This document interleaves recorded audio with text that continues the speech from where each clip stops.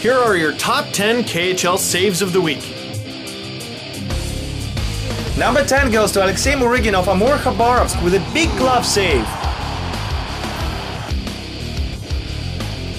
Number 9 goes to Evgeny Labanov of Avtomobilist. Last minute save with his blocker. I'm not even sure he saw that.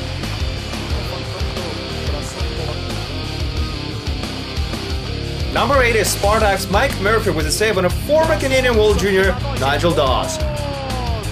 Mike Murphy, what did это save? Number seven goes to Alexei Murygin. Alex Ovechkin is thinking five hole, but Murygin's thinking no goal.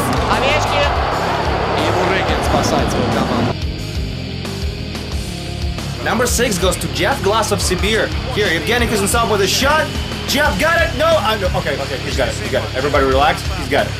Отличный сейф от Джеффа Гласса. Number five goes to Sloven goalie and Bolts prospect Jaroslav Janus with a pair. He goes crazy legs on both of these, stacking the pads and kicking out the toe. Снова шайба у третьего номера. Отличная передача под синюю линию. Янус спасает свою команду. Number 4 is Georgi Gelashvili of Magnitka with a beautiful save. You need to be quick to say his name, but you need to be even quicker to actually score him. Number three goes to Donbass goalie Erik Ersberg. Now he's had a few bad YouTube moments in recent years, but here's a really good one. Эрцберг спасает свою команду от шестой пропущенной.